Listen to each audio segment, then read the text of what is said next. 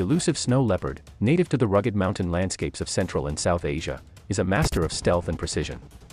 With its thick, spotted coat of fur that provides impeccable camouflage amidst the snowy terrain, this mystifying feline is a true snow ninja.